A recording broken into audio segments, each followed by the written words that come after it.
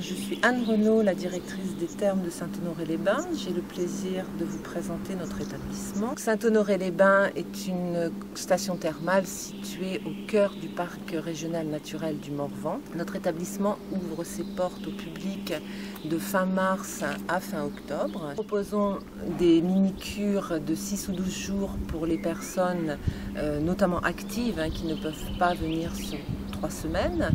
Ces cures classiques et ces mini-cures sont déclinées sur des thématiques autour de la lombalgie et des allergies et de l'asthme. Nous avons aussi une activité bien-être puisque nous avons ouvert il y a maintenant 4 ans un spa thermal où les personnes peuvent venir bénéficier de soins euh, de modelage du corps, de soins du visage.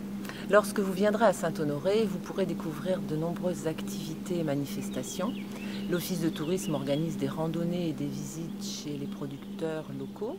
Nous accueillons également le salon Chasse Nature. Il y a aussi un site d'exception à découvrir dans la région qui est le site archéologique d'Ibrac.